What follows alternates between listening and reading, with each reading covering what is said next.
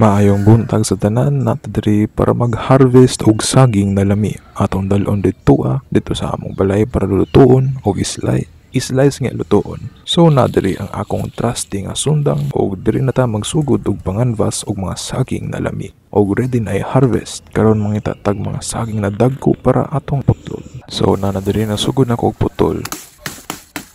And wow, naay sticky stuff na nigawa sa banana tree na ating pinuputol. I wonder if masupsup na ni mga sticky stuff. Bang, bang, bang, bang, bang, bang, bang, bang, bang, bang. Tua, guba ang sundang. So, ato sa siya taro, try og ayo, gahak eh. So, mo na, katumbahon na siya. Pero, mo pa lagi guba po ng sundang. Try na to birahon. Gibira and and tumba na siya. Damay po lagi ang duha ka saging nakatapad niya. Sayang nga eh. Purito ng sundang and try na to putol niya aning stem nga nagbitay. By the way guys, ayaw ni sunduga kay legit delikado mo gamit og sundang na luag na. Wasab ko na expect na doubt na dahil siya nga sundang. So, mapadayon tagputol ani kay unsaon man nato ang punuan kulutahon. Nato na lang try og tuklod kay ambot ani sundang nato murag delikado man. Taw na tigwas tigbas sa kalagot pero wag yapoy pulos. So na diri karon ang atong saging na atong gear pangita. Karon ato sa ihawan ang mga sagbot ug ang dahon diri para maglas makita natong tarong ang saging. Again, pag inahinim mo gamit o yan nga sundang. eh. Puto.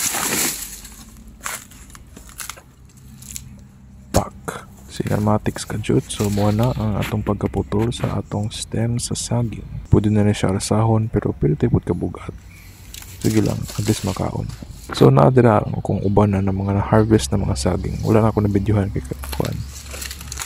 You know what I'm saying? So, arsahon o isa ra kamot ang bugat nga saging. Walang isa ka kamot naghuwid sa video camera. So, muna na siya guys ang akong mga na-harvest. Napay sa dira pero dili pa siya perfect pang harvest. So, muna na diri guys, ako sa try yung try og tumba og human ang kaning saging na nag-slot kami ito ng sundang aluag. Tuklod na lang and agay kasayang.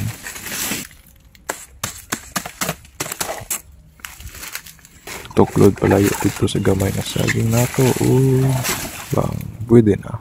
Wow dirty hands. So sticky and dirty tuwa tanggal na sa giata o tuwa na sa sulod bira sulod bira cinematics gamay sa atong saging nga na harvest so karon aton na ni siyang gi ang si tawagan niya. Basta ako siyang gi-separate diri sa iyang stem. Then, muna na ang atong mga saging. Kaya ato na siya isulod sa sako. Labay. Ay kabala kay biodegradable na siya guys. So mulata na siya dira sa yuta. Cinematics kajut sa atong saging nga lami. Ay, yatay. Kani ato na siya i-liter pero pwede ra i-liter kay biodegradable siya and labay pagkalami. So nadali guys, nagsugod na taog separate at nagsugod na taog butang sa atong mga saging diri sa atong sako. Paggamit na lang gid aning yang chow nga sako. Wow, sticky and dirty hands. Yum yum yum. Naratong sundang nga sige kaputol nga sulod diri sa atong giguba nga fence kay para makasulod. Joke lang nagkal amo man ang yuta nakalimot ako dala sa yabi. Basta ni guys. Nara diri ang atong gisudlang nga buslot. Sulod ta balik kaya nabili ng atong sundang. Ungko gamay, sulod sa entrance. Punit sa sundang, sulod sa sudlanan, sibat sa lugar, ungko gamay, gawa sa entrance. An bye-bye sa atong mga saging na lami. Nagbisod ta diri guys og hikot sa atong sako. Medyo di kayo kabalo. Tua, di ba? Ribon-ribon pa. Punog sapatos ba? Di, tanaw na to kung di ba ni mahulog sa kalsada. Kaya libaong raba kayo ang yuta pa dulong sa gawas. Ang tuwa napalpak gid ay nangahulog sa lapok ang akong mga saging. Tuwa akong ipang punit dito sulod ato isulod balik dito sa sako. Pero okay na guys. People makes mistakes. At least diba ni try.